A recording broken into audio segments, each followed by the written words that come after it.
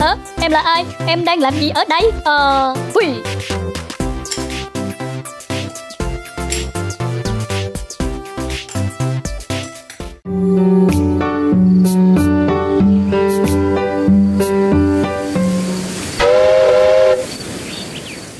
Xin chào tất cả các thành viên của Toy Station. Hôm nay chúng ta sẽ có một dòng đồ chơi hoàn toàn uh, cũ rì, cũ rích nhưng mà bây giờ mới lần đầu tiên xuất hiện ở trên kênh Toy Station.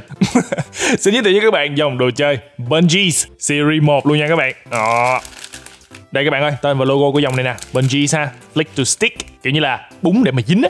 Ok, và cái điểm đặc biệt là cái dòng này nó đã ngừng sản xuất rồi nha các bạn. Cũng có thể gọi là chúng ta đang à, review một vài dòng đồ chơi à, hoài cổ đó. đó. Một dòng đồ chơi à, đến từ hãng Magic Box từ năm 2014 rồi các bạn.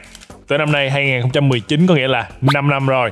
Và các bạn cũng có thể thấy ha, mặc dù là đây là những cái pack à, còn mới tinh chưa có bóc ra nhưng mà à, đã bị à, cũ kỹ rồi. Cái hộp này nó bị ố vàng luôn. Trên đường vận chuyển về thì bị uh, móp méo tùm lum luôn các bạn. Dòng Bungees này nó được ra đời và kết thúc thậm chí là trước khi chúng ta có kênh Toy Station luôn. Thì trong một lần tìm kiếm các nguồn bán đồ chơi bên Mỹ thành Quay Tay đã vô tình thấy được một seller là một người bình thường đó các bạn, mà kiểu anh đó là ảnh ờ, collect ờ, những cái bộ này. Chưa mở ra luôn. Và bây giờ thì anh bán lại. Và sau khi qua tìm hiểu thì anh có thấy ờ, thấy cái bộ này nó có một cái tính chất siêu tầm và một cái ý tưởng chơi rất là thú vị. Cho nên là chúng ta đã có tập của ngày hôm nay. Ok, và ở đây là có ba pack lẻ ha. Hai pack combo và một pack playset luôn. Thì có lẽ một cách tốt nhất để nhìn tổng quan về cái dòng này. Chúng ta sẽ mở cái box set này ra trước ha đó các bạn thấy không? Mặc dù là còn băng keo dán nguyên siêu này nọ ha nhưng mà cái box này nó khá là nát tan này các bạn. Tại lâu quá rồi có thể là nó nó bị à, nát trong lúc mà người ta cất trong kho hoặc là vận chuyển gì đấy. À, thậm chí bây giờ nó đứng không nổi luôn nè.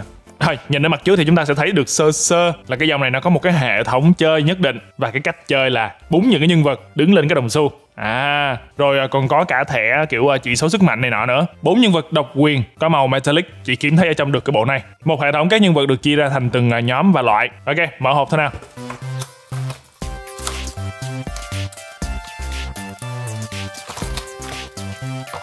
Ồ, oh, những em này nó có cái 500 các bạn ơi. Đây nè. Đó, thích luôn.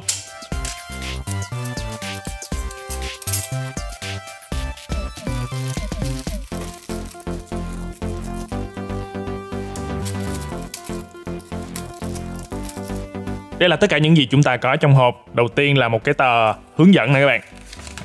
Kim luôn cái list các nhân vật ha. Có tổng cộng là 10 nhóm nhân vật à, với những cái tên khác nhau. Mỗi nhóm là có 4 em và được chia thành là hai phe các bạn. Mỗi phe sẽ có một em à, nhân vật leader rất là khó để sưu tập được. Đó là cái em à, Samos và Potas này nè. Là cái đằng sau sẽ có tất cả những cái giải thích về những cái ký hiệu ở trên từng nhân vật rồi đồng xu và thẻ bài luôn cả những cái luật chơi nữa các bạn đó, ban đầu thì nhìn nó cũng hơi rối rối một chút xíu nhưng mà chút nữa anh có thể sẽ giải thích hết luôn tiếp theo, chúng ta có bốn cái dĩa nhỏ như thế này bằng kim loại. Các bạn có thể nghe ha. Ở giữa sẽ có hình à, từng nhân vật, rồi à, xung quanh là những cái cốt màu, có những cái số điểm khác nhau. Ở đằng sau là một cái à, bảng điểm nữa, chơi ở chế độ khó hơn. Cái này là hình của nhân vật và tên của từng em luôn nha các bạn. Tương tự với những cái đĩa này thì chúng ta có thêm những cái thẻ bài nữa. Đó và đây là những cái thẻ rất là dày, rất là cứng nha các bạn ơi. Và có vẻ như là có một cái lớp kim loại ở giữa nữa. Với mỗi cái thẻ này thì chúng ta sẽ thấy được cái hình thiết kế của từng em nhân vật. Tên, số thứ tự trong cả một cái series. Có tổng cộng là 96 nhân vật nha các bạn. Hai series series 1 và series 2 à không, nhầm một chút xíu. À đây mới là cái tên. Em này tên là Mar còn cái này là cái tên của cái nhóm các bạn. Ở dưới là thêm một số những thông tin về ví dụ như là tính cách của em này. Comedian nè, outgoing. Em này à, rất là hài hước và thích đi chơi. Thích hợp với số 6 và 7 và kỵ số 2 với 9 là cái đằng sau tấm thẻ các bạn sẽ thấy có hai con số nữa để phục vụ cho một trong những cái cách chơi. Đó, và chúng ta có tổng cộng là bốn thẻ. Ok, còn đây là bốn nhân vật của chúng ta có trong bộ này. Một cái chức năng rất là đặc biệt và đặc trưng của cái dòng này luôn, đó là ủy có hit 500 nha các bạn. Cả bốn em nhân vật này, mỗi em đều sẽ có một cái 500 ở bên dưới. Nó sẽ dính như vậy. Ui. Đó. rất là thú vị luôn các bạn ơi. Và đó cũng là lý do mà cái thẻ này nó dày như vậy. Có tấm kim loại ở giữa để dính lại được luôn. Và tất nhiên là cái đồng xu nữa. Đây các bạn xem nè, chúng ta thảy đại vào ui đó, em này sẽ tự đứng lên. Ui ủa, em này không tự. Đó nè, tự đứng nè. Ok, đôi khi sẽ không tự đứng. Không đứng được là bị fail á và các bạn cũng thể thấy là cái bản này nó cũng là một cái môi trường để mà chúng ta chơi nữa. Như vậy thì nhìn sơ sơ theo nhà sản xuất thôi là chúng ta đã có ba cách chơi rồi. Một là chơi theo luật của cái bản này hai là với những chiếc thẻ ba là với những cái đĩa kim loại. Hoặc uh, tất nhiên là những người chơi cũng có thể tự sáng tạo ra cái kiểu chơi riêng của mình. Lật đằng sau cái tấm bản này lại có một cái list luôn nha các bạn. Y chang như là cái list bằng giấy. Nhưng mà hay hơn nhiều bởi vì chúng ta sẽ dính những cái em này lên đúng cái vị trí của nó. Đó giống như là mình uh, sưu tập đó các bạn đây các bạn tưởng tượng ha. Mình có đủ hết tất cả nhân vật để lên sẽ rất là đẹp. Giới thiệu cho các bạn uh, chi tiết bốn em nhân vật này ha. Chúng ta có một em tên là Mar như này giới thiệu là một uh, nhân vật hài hước rất là thích đi chơi. Nhìn có vẻ như là giống như là một em uh, khủng long hay sao đó các bạn. Nó có những cái gai trên đầu xuống dưới sống lưng luôn. Và để ý hơn một chút xíu thì các bạn sẽ thấy cái phiên bản thật này nó khác màu với lại cái phiên bản trong thẻ. Thì anh có thể đoán bởi vì đây là cái phiên bản metallic các bạn. Giống như là ừ, cái giáp nó giả kim loại đó, nó bóng bóng. Nó khác với là phiên bản thường ở trong thẻ. Đấy tiếp theo chúng ta có Dreamer hay là Tremor em này nhìn giống như là một em cá sấu các bạn ơi đó. tính cách là confused loyal có nghĩa là lúc nào cũng bị ờ, bối rối nhưng mà rất là trung thành còn đây là SOL Soul tính cách uh, cua hả? ngang như cua hả? và rất là kiểu um, tự kêu tự đại các bạn hả đúng nghĩa luôn ha là một uh, em uh, cua à, không có vẻ như là một loài ốc hay là gì đó còn em này là magmatic tính cách là một người à, rất là cầu toàn và cũng rất là trung thành game em này được làm bằng một cái chất liệu à, cao su mềm nhưng mà không có quá mềm giống như là dòng đồ chơi à, grocery gang cầm vào thì nó cũng tương đối có một cái độ nặng các bạn ở bên dưới là một cái cục 500 nữa ha đó Tiếp theo chúng ta có những nhân vật ở trong những cái hộp như thế này. Đây là pack một nhân vật nè và có vẻ như là hai cái thẻ bài luôn các bạn. À không, hình như có một thôi. Còn cái pack này thì có hai nhân vật luôn. Ok, mở ra xem nào. Đó các bạn thấy không? Rồi nó bị tróc ra luôn rồi nè. Rồi nó bị ố vàng nữa. Quá lâu rồi.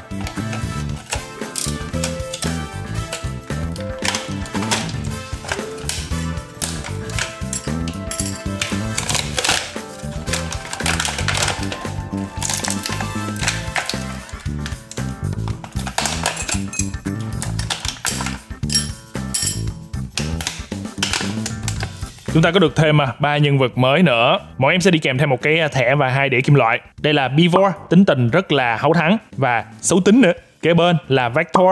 Ú, em này có vẻ giống như là một em rồng hả các bạn? Mắt rất là to luôn nè. Dễ thương luôn. Tính tình là zigzag còn zigzag này à, không lẽ là thích di chuyển theo zigzag và có tính đồng đội nữa. Em màu trắng bên đây, có tên là Luna tính tình là curves. Ủa, là sao ta? Có nghĩa là thích uống lượng hả? Và low IQ kiếm thông minh. Ok, để tìm vị trí của mấy em này. Để lên cái bảng sưu tập này các bạn. Đây. Trên đây màu tím. Ngay đây. Và hi. Đó. Thích nhất là cái tính năng à, 500 của cái dòng này luôn các bạn. Ngoài việc để chơi ra thì để sưu tập và trưng bày rất là đẹp luôn. Ok, tạm để hết nguyên cái này qua một bên. Mở nốt ba cái phát này luôn. Rồi chút nữa sẽ à, chơi demo thử cho các bạn xem ha. Trong mỗi cái bịch này nếu không lầm thì sẽ có một nhân vật.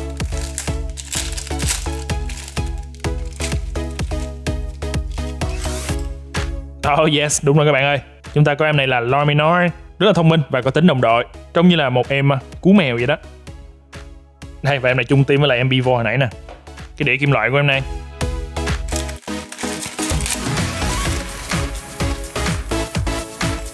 Ok, cái em nhân vật này nhìn rất là mắc cười luôn các bạn Nhìn vừa giống như là khủng long, vừa giống như là cá Đây nè, nhìn cái mỏ nè Có tên là Siley Không biết đọc chính xác là như thế nào nữa Tính tình là uh, không biết chuyện gì đang xảy ra cả à, Em là ai? Em đang làm gì ở đây? Ờ... Ui. Quăng em này lên bảng nè các bạn Hí, hơi chật xíu Lại coi Ui, đó Và chúng ta có phát cuối cùng luôn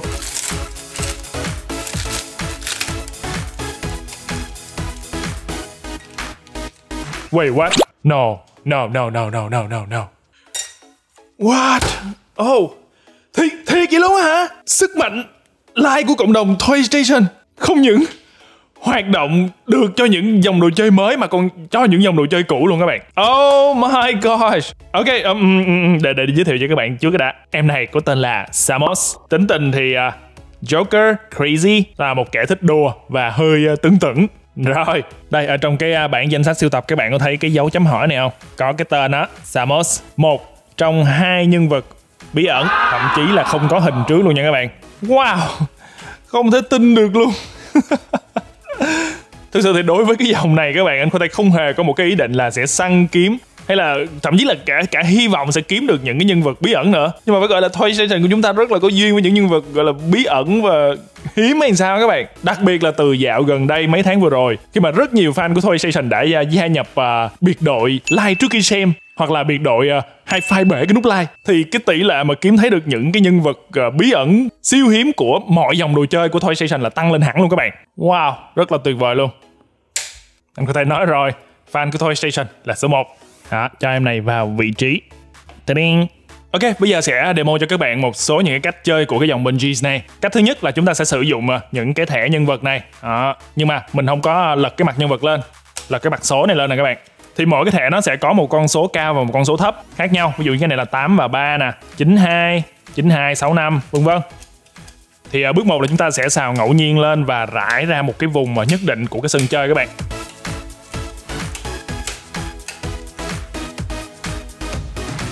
À, chiều hướng à, không quan trọng càng ngẫu nhiên càng tốt. Tiếp theo là chúng ta sẽ chuẩn bị à, những em nhân vật và để ở một cái khoảng cách nhất định.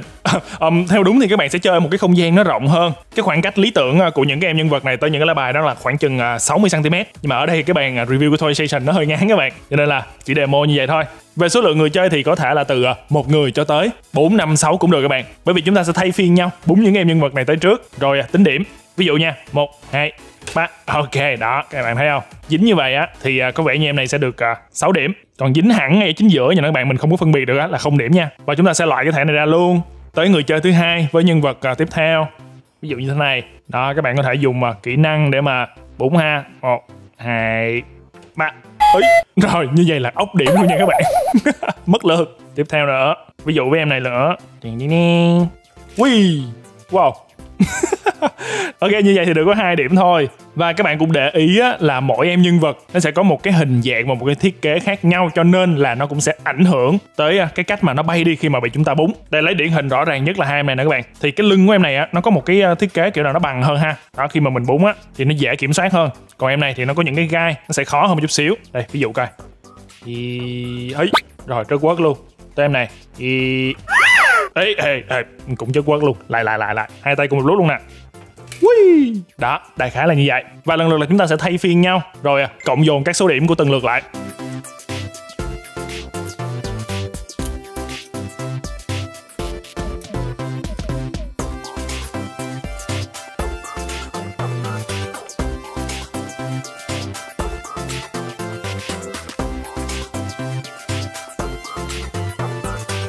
Ok và đó là cách chơi à, đầu tiên với những cái thẻ này.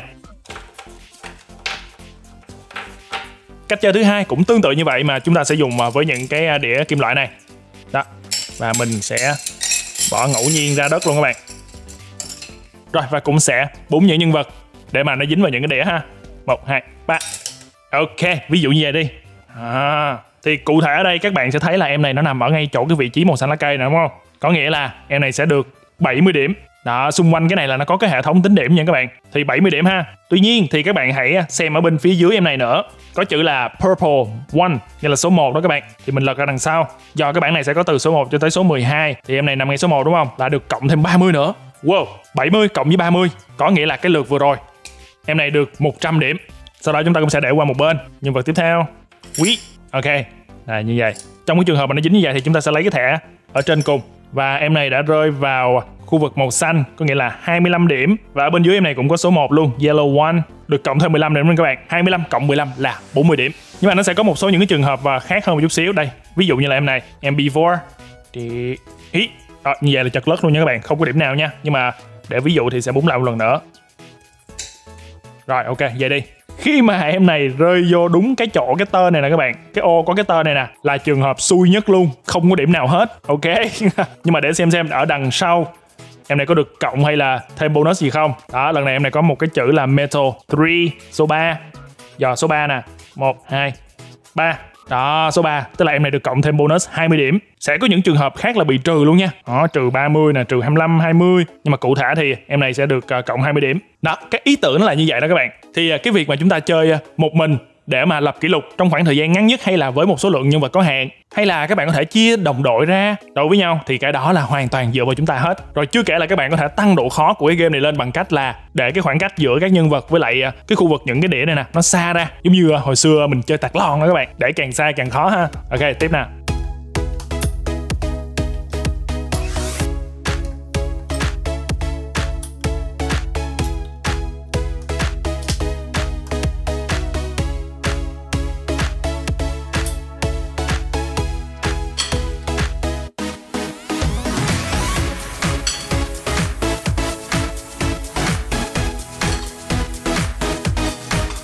Cách chơi thứ ba đó là chúng ta sẽ sử dụng à, chính cái bảng sưu tập này đây. Đó, nhưng mà các bạn sẽ lật cái mặt sau lại. Da-da-da. Nếu những nhân vật của chúng ta đứng ở trên được những cái à, target này 50, 25, 175 thì à, sẽ được những cái số điểm tương ứng. Những cái ô này là mất lượt rồi tất cả những cái ô khác hoặc là bị rớt xuống lava là không có điểm nha các bạn. Và cái bảng này ở giữa nó cũng sẽ có một cái lớp kim loại cho nên là 500 của những em nhân vật nó cũng sẽ đứng lên được luôn. Xem nào bắt đầu. Ui! Rồi không điểm luôn.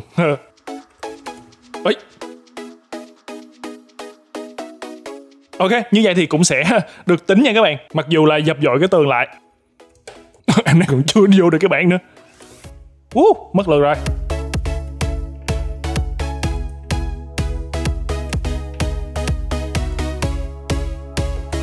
Cố gắng bay lên nè. Uy búp oh